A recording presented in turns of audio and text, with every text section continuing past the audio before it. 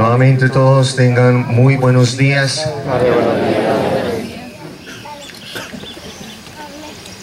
Quiero, quiero hacerlos conscientes en este momento de lo que vamos a hacer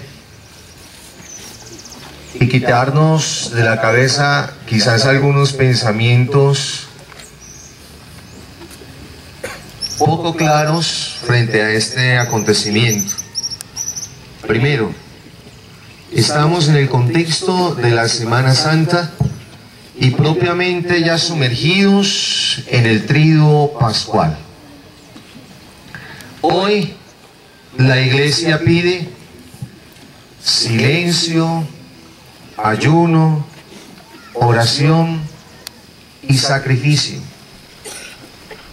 Es el ambiente que debemos nosotros vivir a lo largo de este Via Crucis.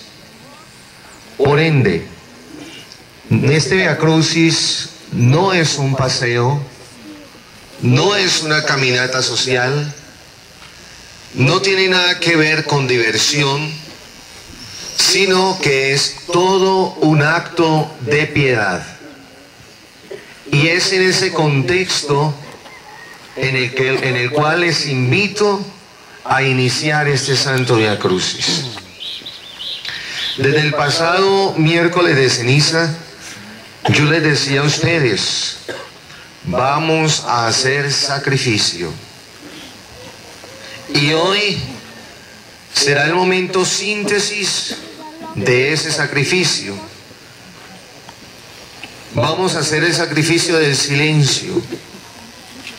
Porque la tentación quizás de ir hablando con el vecino, con la vecina, nos puede llevar a perder este hermosísimo momento.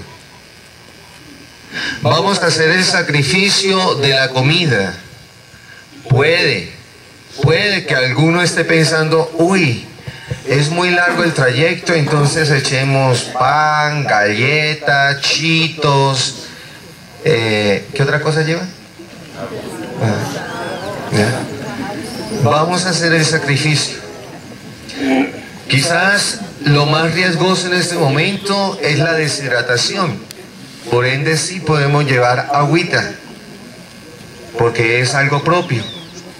Pero de ahí a que llevemos algunas viandas, dulces, colombinas, bombones, chitos, eh, galletas, si lo llevan, no es el momento, el sacrificio, el piacrucis, perdón, no es el momento para comer todo eso. Es para el momento de ofrecerle al Señor ese ayuno, ese sacrificio por tres intenciones.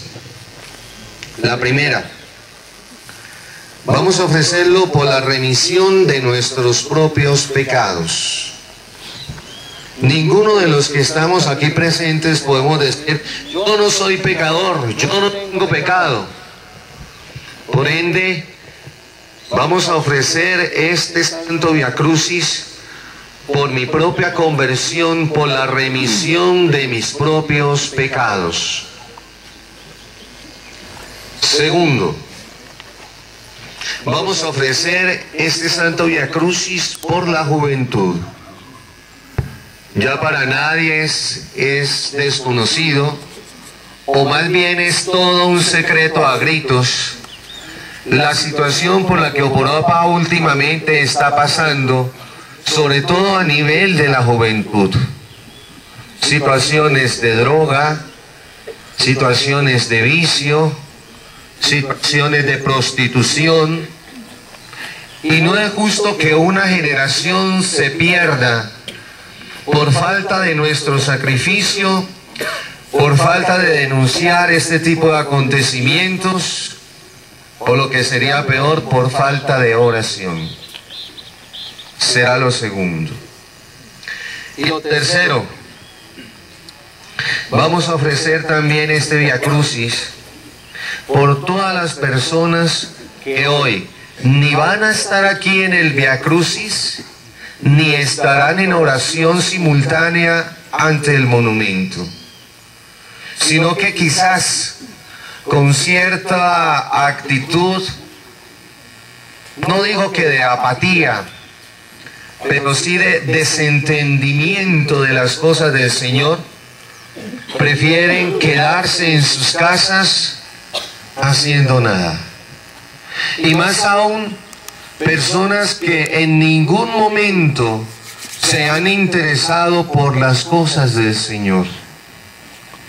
Como bien lo he dicho en otros momentos, no se trata de empezar a criticar estas actitudes, sino de orar por el convencimiento para estas personas. Que el Señor siga suscitando en el corazón de estas personas una entrega total a las cosas del Señor. Y descubran, como bien lo decíamos el pasado domingo de Ramos, que Dios los ama, que ellos son importantes para Dios, que ellas son importantes para Dios. Vamos a colocar de manera especial también como un cuarto punto más, orar por todas las personas, o no por todas las personas, por todas las situaciones que, se, que propician aquí en Oporapa ambientes de desorden para los jóvenes. Para que el Señor también suscite en el corazón de estos hermanitos y hermanitas que tienen este tipo de negocios el convencimiento de que no están haciendo bien. Y me atrevo a afirmar quizás que algunos ya tienen esa conciencia. Y me atrevo a afirmar que también algunos ya han pensado en cambiar eso, ese tipo de negocios, ese tipo de ambientes malévolos para la juventud y para todas las personas. Pido entonces también oración para que el Señor suscite fortaleza en la determinación de estos hermanitos y hermanitas y lleguen por ende a acabar con este tipo de negocios y que el Señor suscite para ellos negocios de bien, negocios de productividad sin acabar con la dignidad, sin acabar con la juventud, sin acabar, queridos hermanos, con la riqueza espiritual de este pueblo. Sean estas las intenciones por las cuales vamos a ofrecer en este ambiente de oración y sacrificio este santo Via Crucis para la gloria del Señor. Les invito a hacer ustedes desde ya no solamente un voto de silencio, sino todo crear desde ya todo un ambiente de sacrificio.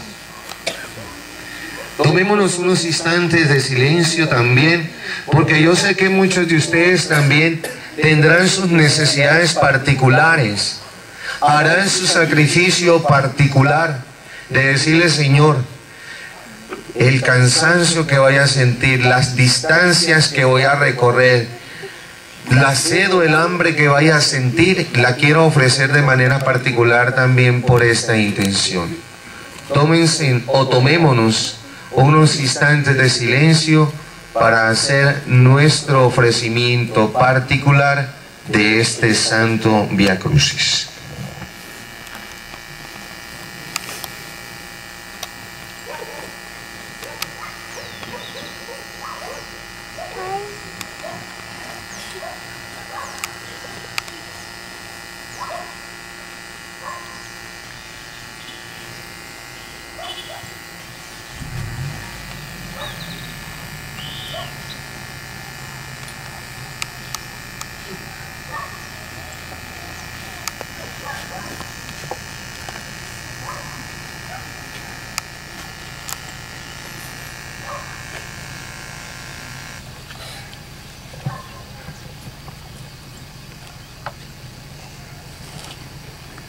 Puesto que fuera de la misericordia de Dios no existe otra fuente de esperanza para el hombre, cada ser humano hoy está llamado a exclamar con Santa Faustina, Jesús, confío en ti.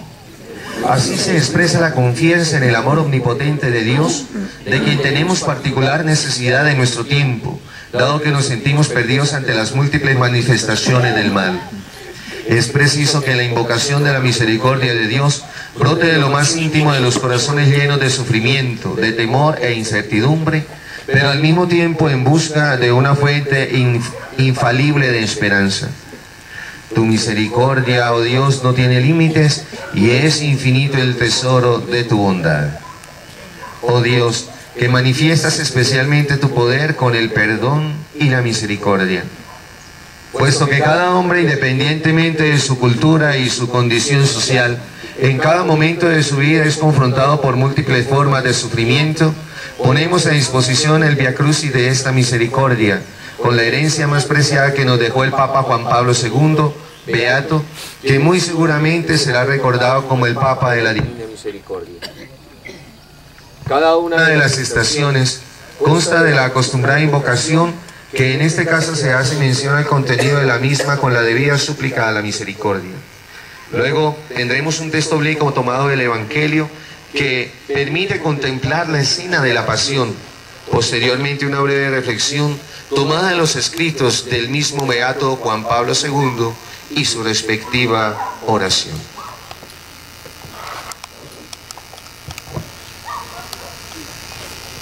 Con disposición, iniciemos entonces, sumergidos en este hermosísimo ambiente, la oración, este Santo Día Crucis. En el nombre del Padre, y del Hijo, y del Espíritu Santo.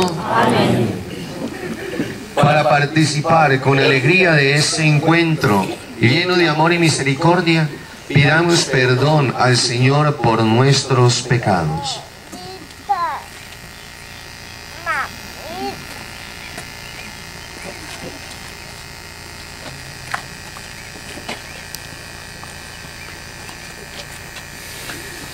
Yo confieso ante Dios Todopoderoso y ante ustedes, hermanos, que he pecado mucho de pensamiento, palabra, obra y omisión.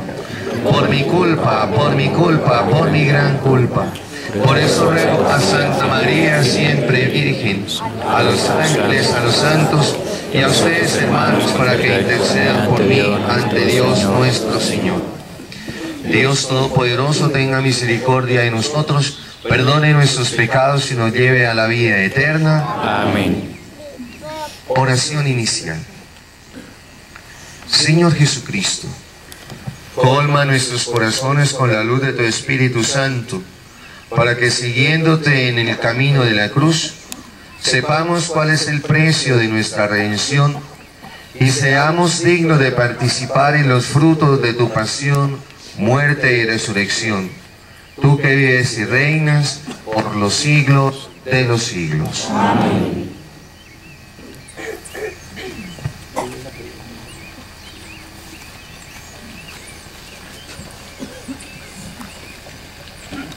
Primera estación.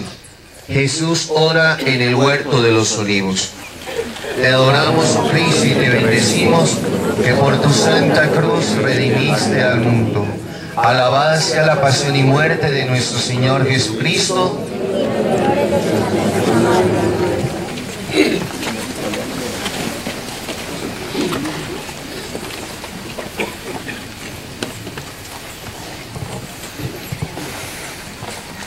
Del Evangelio según San Marcos. Van a una propiedad cuyo nombre es Getsemaní y dice a sus discípulos, siéntense aquí mientras yo hago oración. Toma consigo a Pedro, Santiago y Juan y comenzó a sentir pavor y angustia. Y les dice, mi alma está triste hasta el punto de morir. Quédense aquí y velen. Y, adelantó, y adelantándose un poco, caía en tierra y suplicaba que si era posible pasara de él aquella hora. Y decía, Abba, Padre, todo es posible para ti. Aparta de mí esta copa, pero no sea lo que yo quiero, sino lo que quieras tú. Palabra del Señor.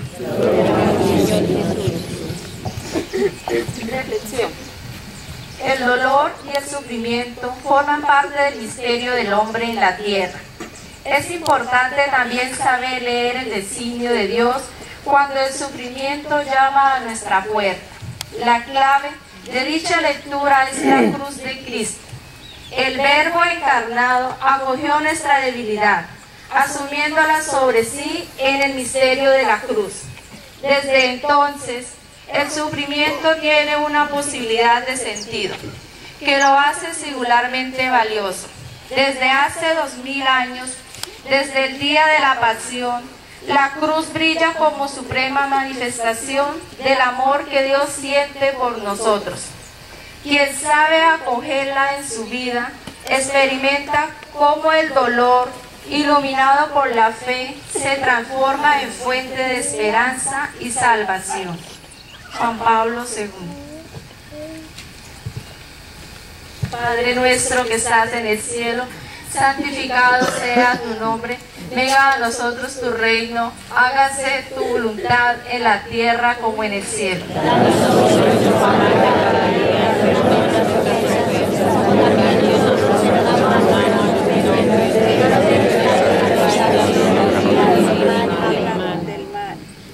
Dios te salve María, llena eres de gracias, el Señor es contigo. Bendita tú eres entre todas las mujeres y bendito el fruto de tu vientre Jesús.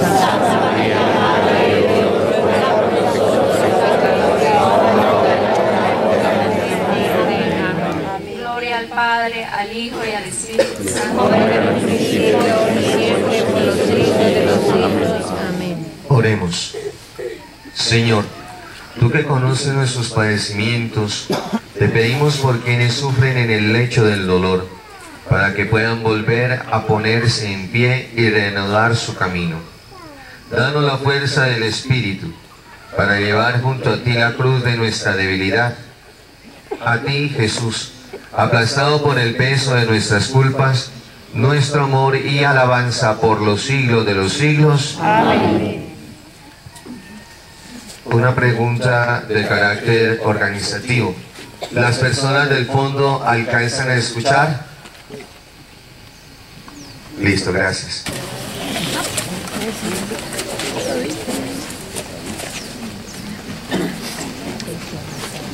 Van avanzando ustedes, por favor. Gracias también a la Guardia de Honor del Santísimo. Irá haciendo la calle respectiva de honor para no pasarnos. Podemos empezar a rodar con el móvil.